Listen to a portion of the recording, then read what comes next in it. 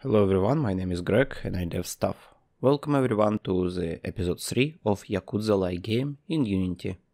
In this episode we will make our character attack something. Clean your root folder.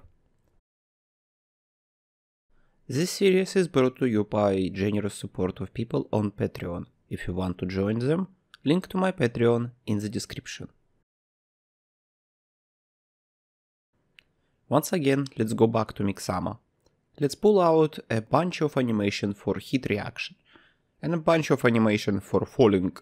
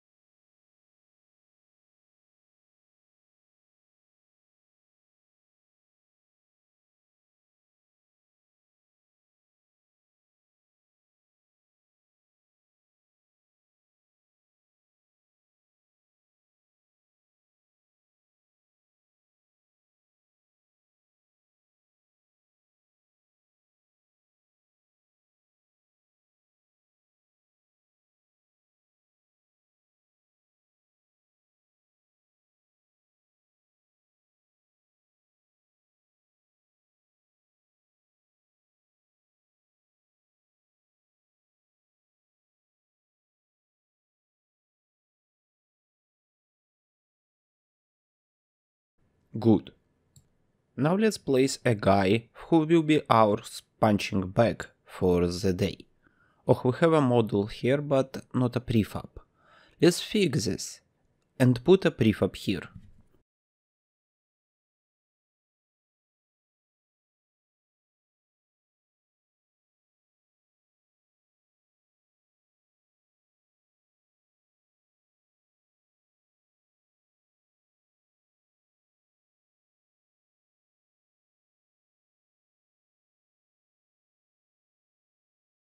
Okay, let's duplicate the material and change the color of the guy to be something else by tinting the base map.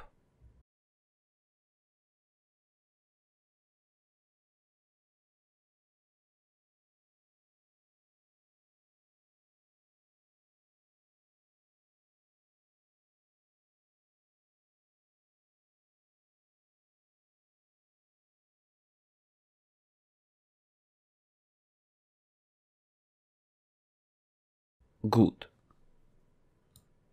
Okay, the speed of the camera rotation is too much for my taste, so let's change it to be different.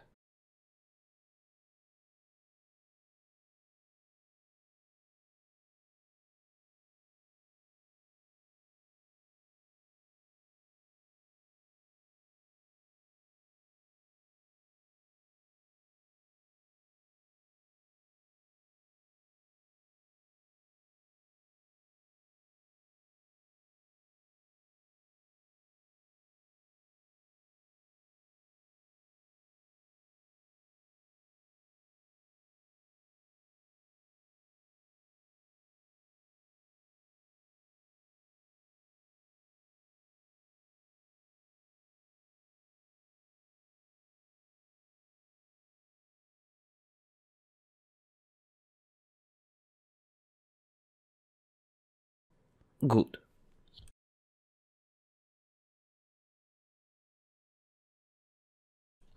Back to setting up our punching bag guy. Similar to how our player is set, put the actual model into an empty object container called enemy.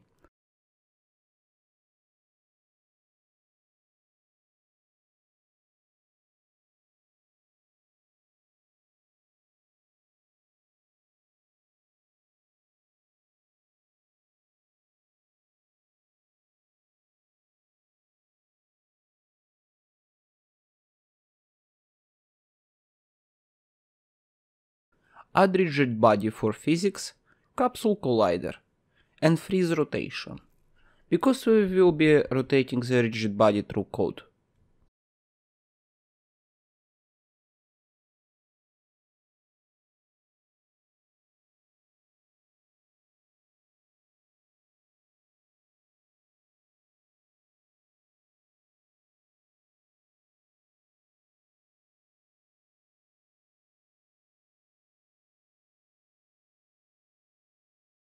Good.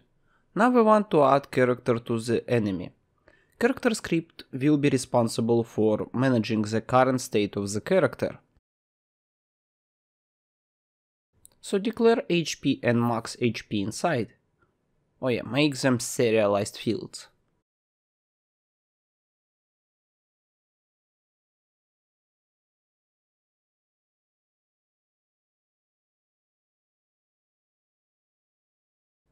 Create a full heal method, which will restore the state of the character to the max HP.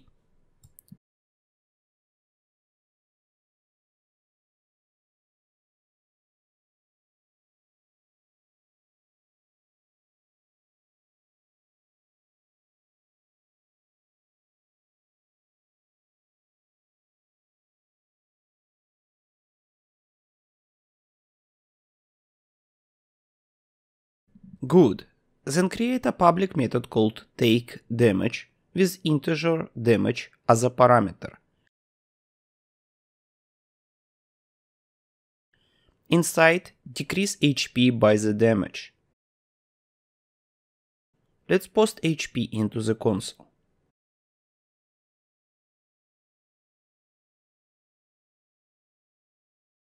So let's test this.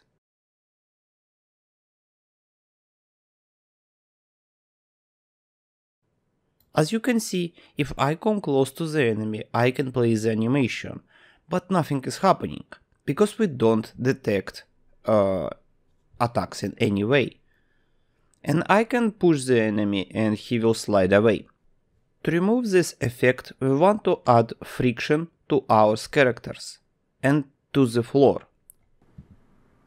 So create physical materials for floor and the characters.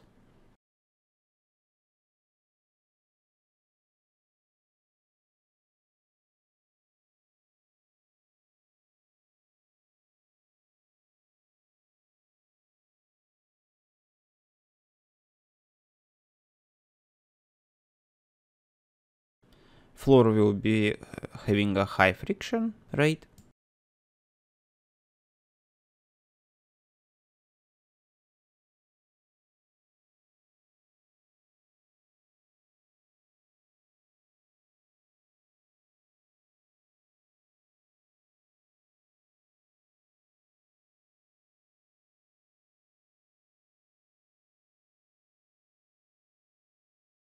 Here, much better. I just realized something, because I'm weird like this, I use inverted mouse look in third person games. But in case you don't want it, here is the solution. Tick this inv invert checkbox on your virtual camera.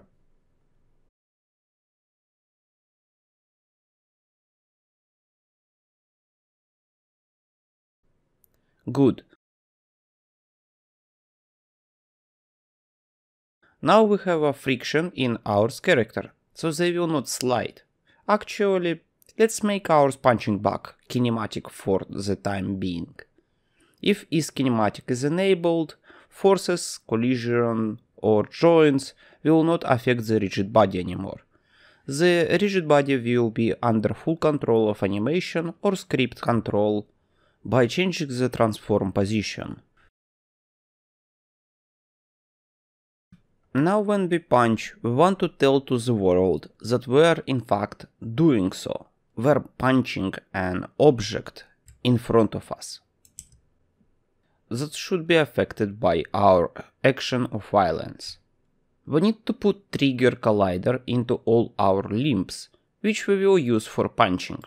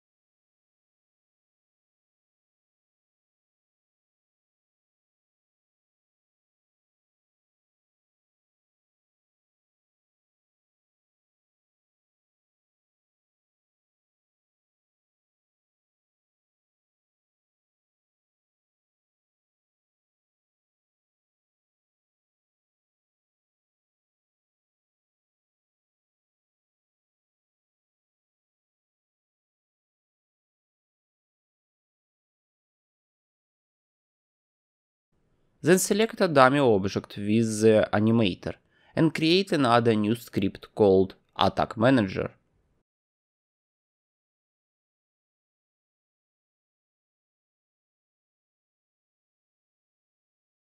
Inside define four serialized fields. For colliders for left hand, right hand, left leg and right leg.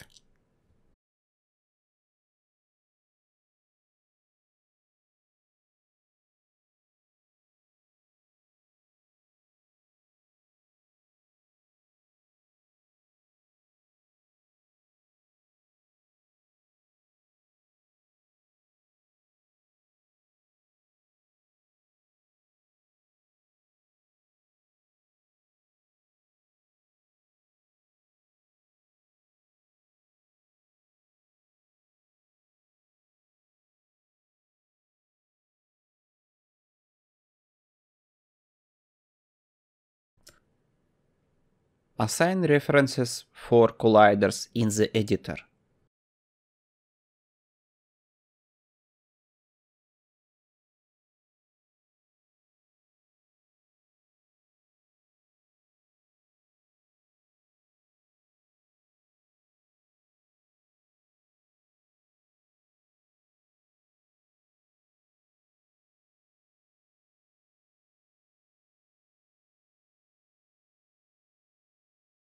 Now let's create uh, an enable and disable collider method for the left hand collider.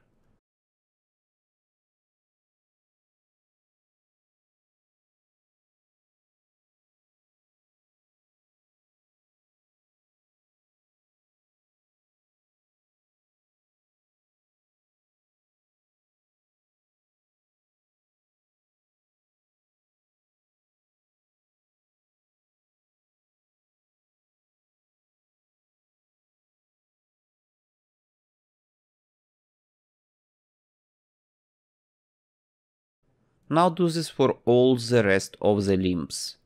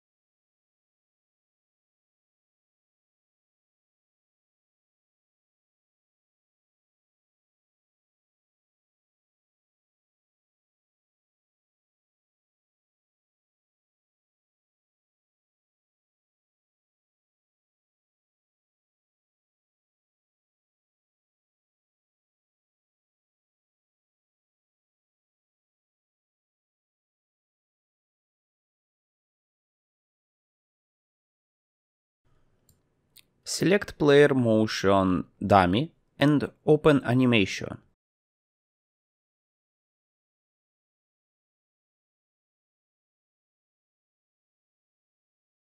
Because our animations are extracted from FBX files, it will show uh, like read-only animations.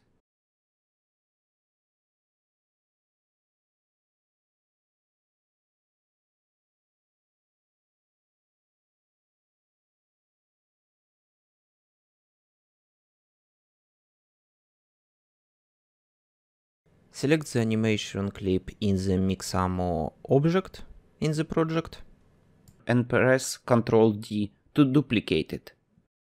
This will create a copy of animation outside the FBX file in the project. we have imported from the Mixamo.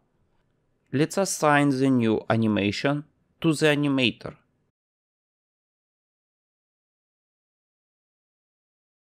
Now our animations are not read-only. Good.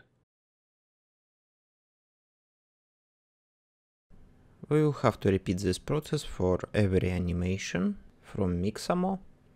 So we will be able to uh, attach events for them in Unity Editor.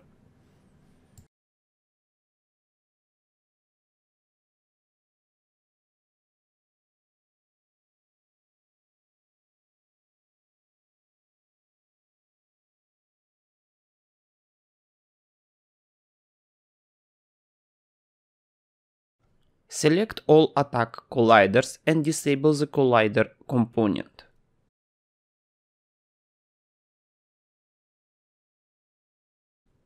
In the animation, find the frame which we want to be a first frame when our attack should deal damage from. Then click on this small thing. This is an animation event. Now you have an event on your animation timeline. It will call and execute the public method from your character. So enable the appropriate collider. In that case, it is the right hand collider.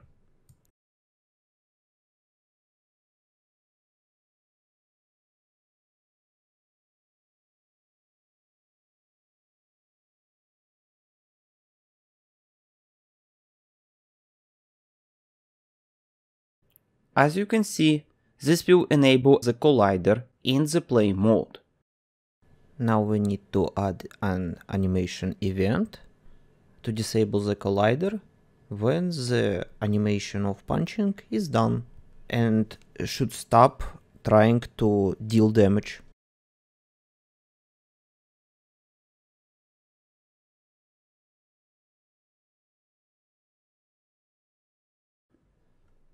And this trigger will be responsible for detecting the collision with the objects in front of the character.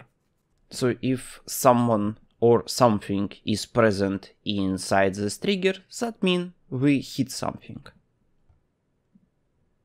Good. Select all colliders for attack and create another new script called attack collider.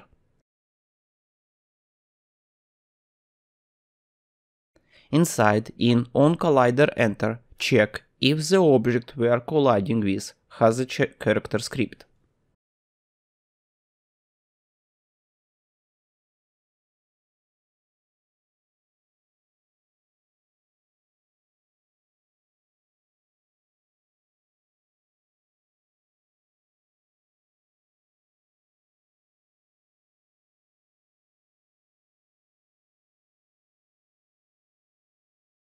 If it does, call take damage.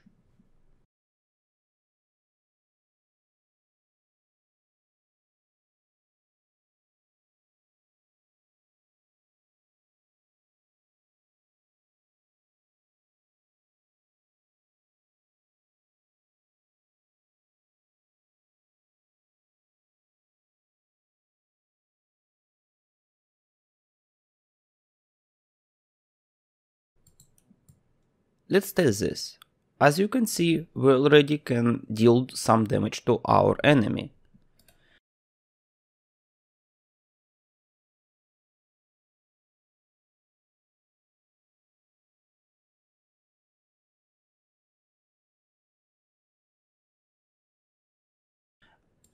Let's give him some HP at the start. And because we are calling full heal at the start, our enemy will have full HP right from the get-go.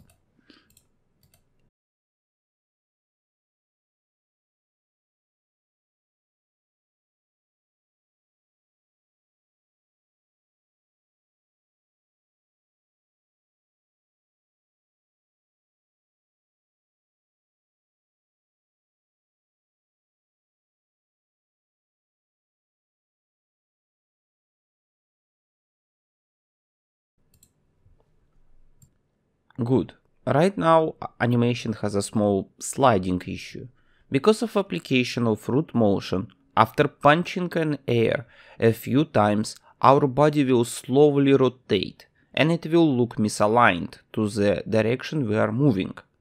To understand why this is happening, select the player model on the scene. Notice how the model inside the player object is slowly moving away from the origin. It is because of inaccuracies of the animation. It doesn't end in exactly precise place it started the animation.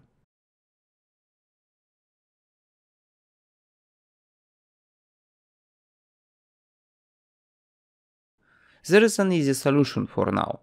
Select kick and set root transform rotation to be baked into, po into pose and based upon original. Then bake into pose both root transforms.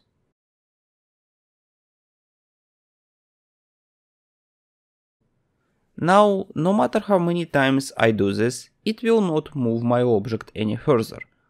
This is a band-aid solution for now, we will be looking into this later on much more.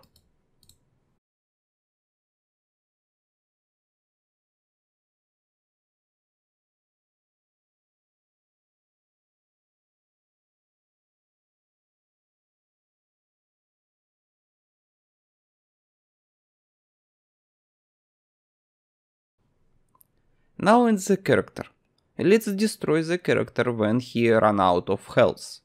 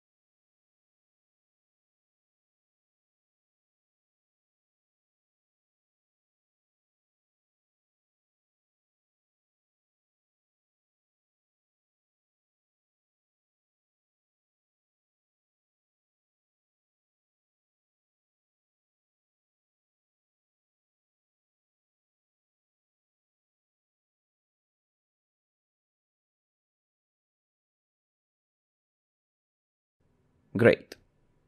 It is boring that he is just standing here, without any kind of reaction. So let's create a new animator controller for the enemy.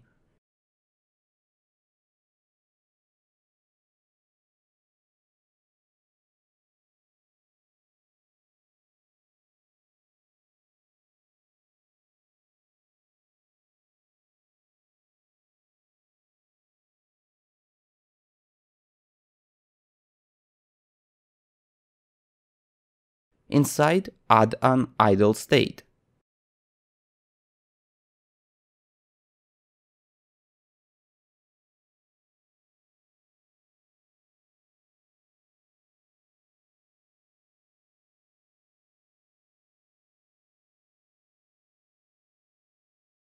and a new state called hit.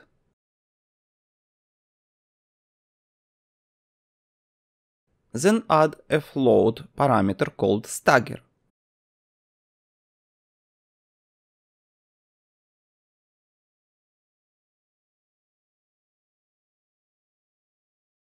If the stagger value is above 0.5f, we will play hit animation. Add exit out of hit animation.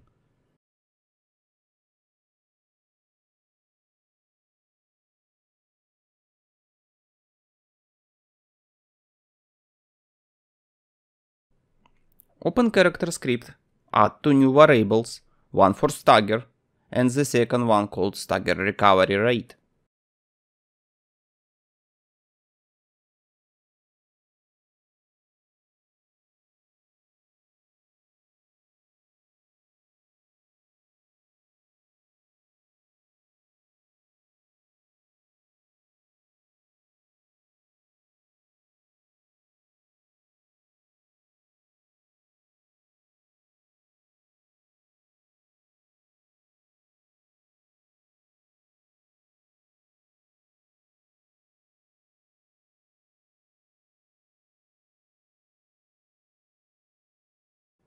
In take damage, add 0.4 F stagger damage.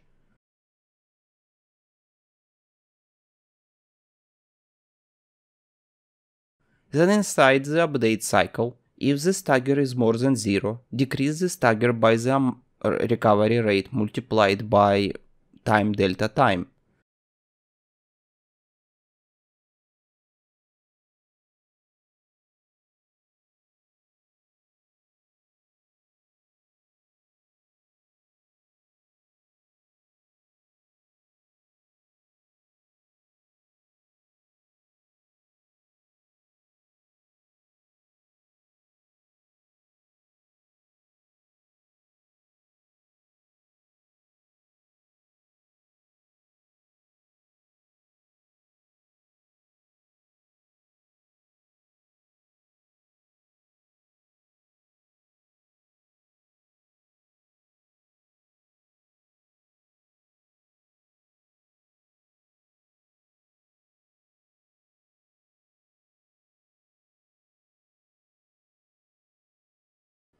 Add to the enemy model character animator.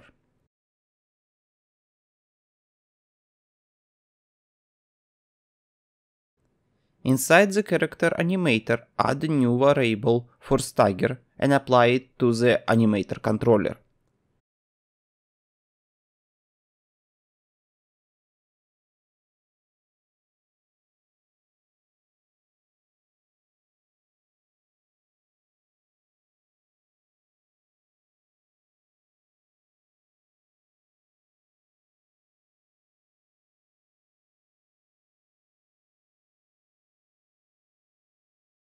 We will definitely need locomotion later on, and to avoid any possible issue, add a locomotion parameter.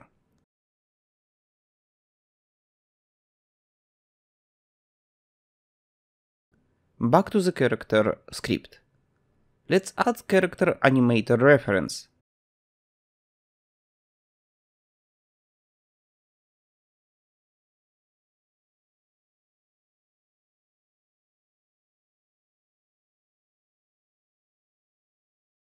Store the reference on the awake and pass the stagger variable to the character animator stagger.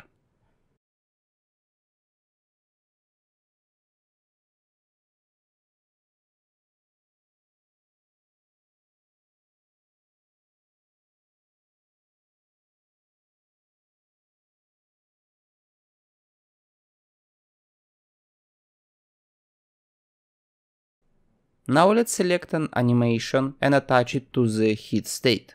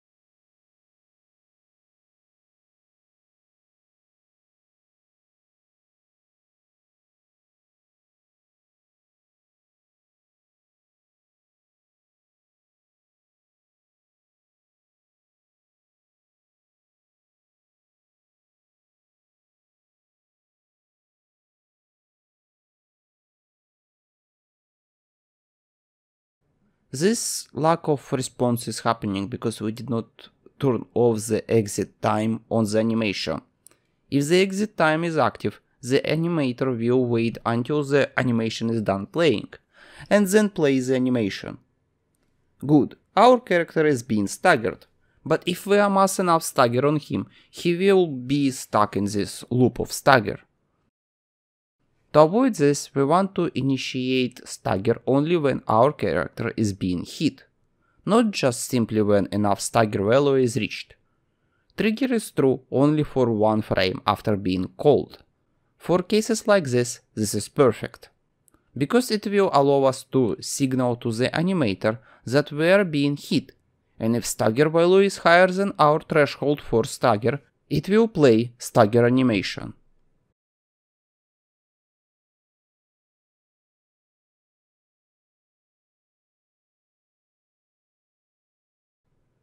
Good. Now our character will only stagger when he is being hit and has enough stagger value. So if I wait for a few seconds, only a second attack will cause him to stagger. Of course different attacks should cause different effects. Kick should stagger character much more than punch, but we will deal with this in later episodes. Good, this is it for this episode. If you have any questions or any ideas about code, please leave your comment below. If you are interested in seeing what will come out of this, please subscribe. If you want to support further, you can find my Patreon in the description. Special thank you to Cameron Smith for his generous support. With best regards, see you in the next episode.